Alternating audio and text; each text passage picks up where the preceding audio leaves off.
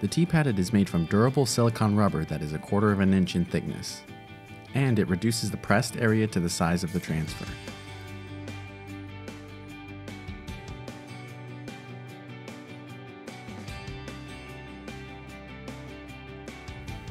Place the T-Pad It in or under the garment when pressing garments with buttons or seams. The T-Pad It will raise your transfer to sit above the button so that you get even pressure when the heat press is closed.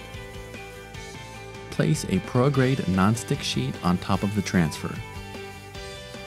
Set your heat press to the recommended time, temperature, and pressure settings provided by the heat transfer paper manufacturer.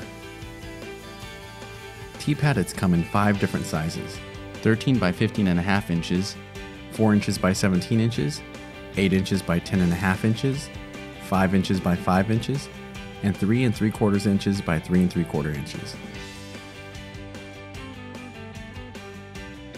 The T-Pad It is a must-have for any heat transfer toolkit.